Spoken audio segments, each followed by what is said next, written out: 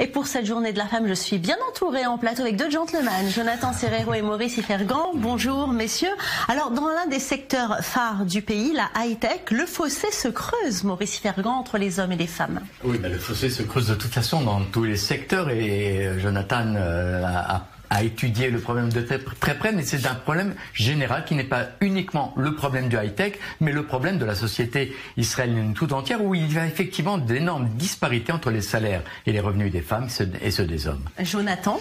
Oui, euh, c'est le secteur euh, tant convoité de l'économie israélienne. C'est celui qui offre euh, en tout cas le plus de possibilités d'avancement, aussi bien professionnel que salarial. Pourtant, et pourtant, le traitement des femmes dans la high-tech laisse à désirer, notamment au niveau donc du salaire. Lorsque le salaire des hommes a augmenté de 14% en 2016, celui des femmes a baissé, lui, de 3%, sachant que le pourcentage d'embauche dans ce secteur a augmenté de 10% sur toute l'année dernière. L'écart de salaire entre les hommes et les femmes est de 45% dans la high-tech, alors qu'il est en moyenne de 32% sur le marché euh, commun. Aujourd'hui, les hommes employés dans la high-tech gagnent en moyenne 15 000 shekels euh, bruts contre 8 770 shekels, 70 shekels de l'heure pour un homme, 49 shekels de l'heure pour une femme. C'est énorme. Tout cela à qualification égale et à diplôme égal aussi.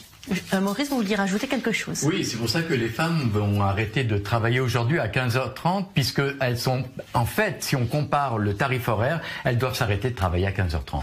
Après, c'est gratuit. Et Jonathan, je m'en parle de discrimination. Elle existe aussi, hein, cette différence dans le monde politique et celui des administrations en Israël. Oui, elle existe bel et bien. Il n'y a qu'à voir la composition aujourd'hui du gouvernement euh, israélien. 19 ministres hommes et seulement 4 ministres femmes. Seule une femme siège au sein du cabinet sécuritaire contre 9 hommes. 25 hommes occupent aujourd'hui un poste de responsable d'un bureau ministériel contre 3 femmes. Au sein de l'armée, la discrimination envers la jante féminine est encore plus flagrante, Valérie.